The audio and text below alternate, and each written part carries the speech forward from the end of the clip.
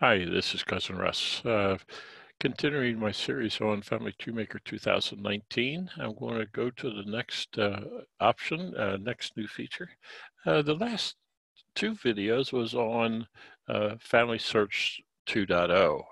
I'm going to continue uh, with Family Search 2.0, but this time I'm going to show you the new features in a Family Tree Maker 2019 in the People workspace and again, it is Family Search 2.0. So we've got, we already have access to Family Search um, today with hints, and you can also merge. But Family Search 2.0 in 2019 is different. And I want to uh, show you how I have am using the new feature. You see these blue boxes. The blue box means that there is a hint from Family Search. So um, today, in 2017, I would go and I could see the profile in Family Search uh, that matched my ancestor. Now, in my database, I have created a fact called end of line. So my direct line ancestors, if I get to a point going back that the ancestor has no parents, direct line, I mark with a fact called end of line.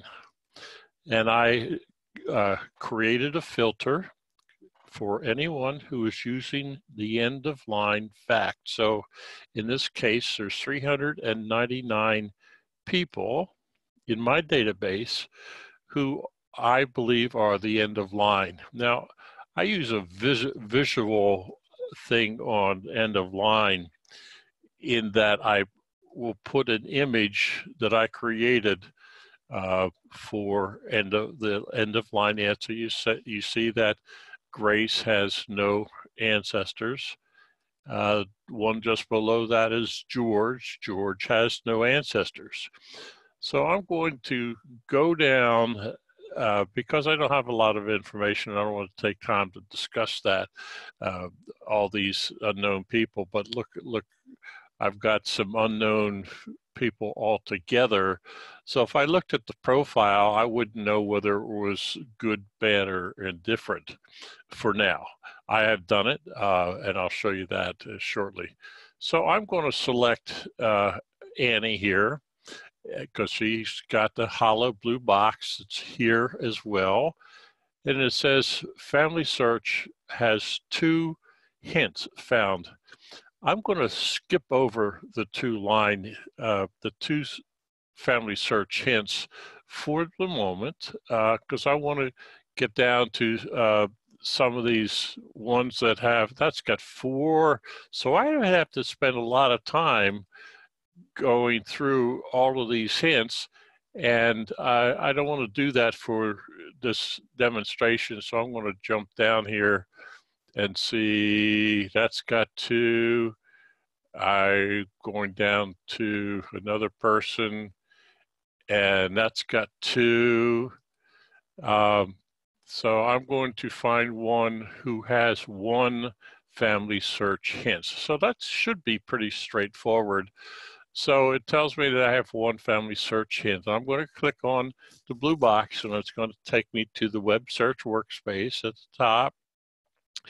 And what it's going to, what I'm going to see is the profile on family search that looks like the database in, uh, that looks like my database and the information that I have on this person is in the lower left-hand corner. So uh, looks like uh, my internet is having a little time making the connection, uh, but that may be because I'm recording. Uh, so I'm going to let it spin just for, so there we go, it came in. So what I do now is visually look, I look at my database in the lower left-hand corner and the lower right-hand corner shows me the information from this profile that's in Family Search. Now I look at the, I have a birth date and I say about 1606. This says 1605. Oh, that's close. Death is 1686. death is 1686. Uh, I'm more focused on the relationships I have, Elizabeth Jackson, and this has Elizabeth Jackson. What's also important here is that the family search uh, profile has the parents. Now, I don't want to merge this profile from Family Search. Family Search, that's what I would could do in 2017, but what I can do in 2019 is a new feature called Match.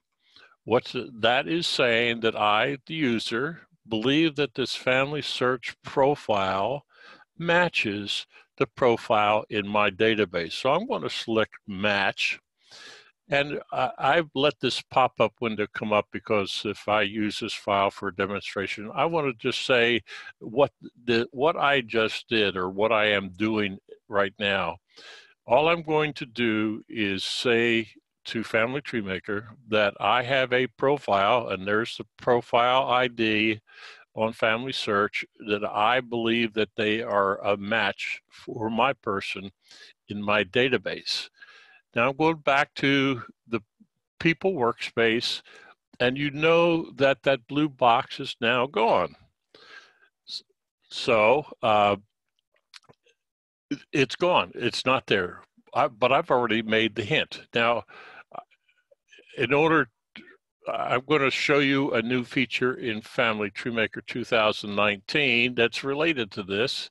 If I go up here to the index and the drop-down menu, you see that I have a new option. Color coding we know, hints we know. The new option is Family Search ID. So there is that Family Search ID. I had the Family Search ID, but nothing else. Now I'm going to go up to here and I'm going to close that window so I can see who that person is. I'm going to turn off the Family Search ID hint. And notice that that blue box is now solid. When I have a solid blue box, that means I already did the match. I showed you the match number was there for, there's another one that just came in as I've been speaking. So what what is happening now is that uh, Family Tree Maker is communicating with Family Search. And in this case, I, I'm just going to go up and look at this one. This is a solid blue. So this says, if I hover over the blue box, it says 58 Family Search historical records were found for this person.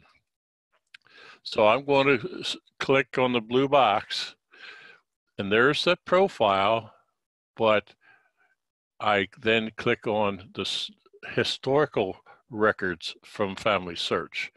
Now I'm not going to merge any of the records here.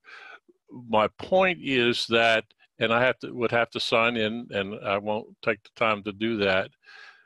But the the point is that I'm going to let mark all of my end of line ancestors, those ones where I don't have any information on any of the family.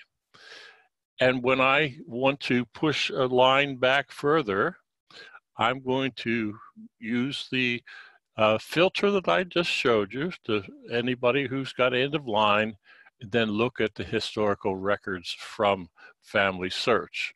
Uh, I have not uh, put this tree, this, I've not put this file on Ancestry, so I'm not getting Ancestry hints. I'm not ready to do that. But what I am doing today is going through all of my end of line ancestors and matching from Family Search, Family Tree, Family Search 2.0. So that is uh, uh, the people workspace view of Family Search 2.0. It's a great feature. I uh, am excited to be able to just focus on my end of line ancestors who have hints from Family Search. Now I will get this file on Ancestry Member Tree, not to worry about that, uh, to get the hints from Ancestry. Uh, but now I have another resource if, of hints that I can go look at from Family Search for my end of line ancestors. Hope that helps. If you have any questions, leave a comment on the blog post uh, that goes along with this video, and I will get back to you. Thank you, and have a great day.